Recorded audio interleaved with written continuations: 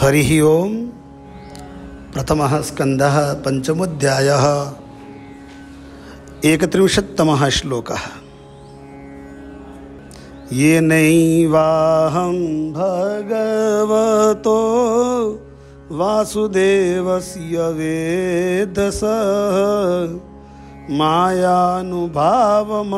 येन गच्छन्ति तत्पदं येन गच्छन्ति तत्पदं येन गच्छन्ति तत्पदम्। महर्षि जी साक्षात भगवान ने जो ज्ञान उन मुनियों को दिया था, वही ज्ञान उन मुनियों ने मेरे पर बड़ी ही कृपा करके ज्ञान दिया।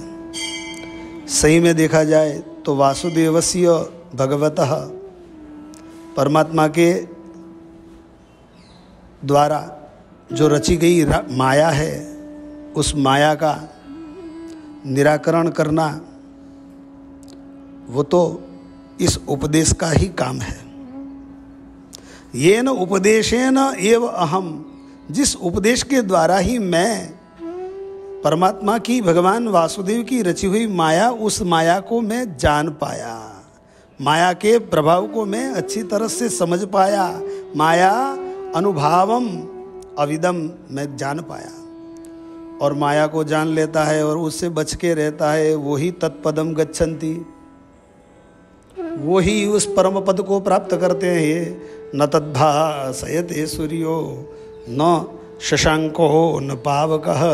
यद गत्वा न निवर्तन्ते, तद्धाम परमम मम। परम कृपालु परमात्मा का धाम, उस धाम की प्राप्ति तो उसी को होती है, जो माया को जान के माया से दूर रहता है।